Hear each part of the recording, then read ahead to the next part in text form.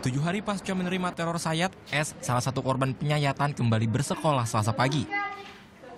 Hari pertama masuk sekolah, siswi kelas 1 SMK berbudi Yogyakarta ini tak ingin mengumbar luka di lengan kanannya. Meski sudah bisa menulis, tangan kanannya masih sulit digerakkan. Pasca kejadian, S masih ketakutan jika pulang pergi sendiri. Setelah diburu berhari-hari, pelaku penyayatan bernama Bobi Adi Nugroho berhasil ditangkap Polda DIY Senin malam. Saat diperiksa, pelaku mengaku melakukan penyayatan karena kesal korban menghalangi jalan sepeda motornya. Pria berusia 40 tahun ini kemudian memepet korban dan mengambil pisau cutter dari saku celananya. Dengan adanya peristiwa ini, masyarakat diminta selalu waspada saat berada di jalan raya. Bahwa masyarakat jangan ada yang resah lagi. Kita mengharapkan Jogja ini sebagai tempat tujuan wisata yang aman dan nyaman. Ya, ya. saran buat masyarakat Untuk selalu menjaga eh, keselamatan masing-masing.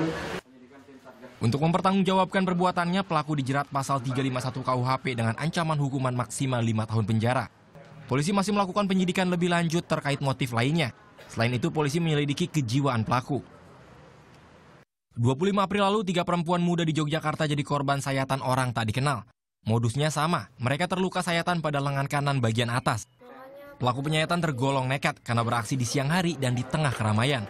Tidak hanya terluka fisik, para korban pun mengalami trauma. Selamat Lestioro melaporkan untuk NET.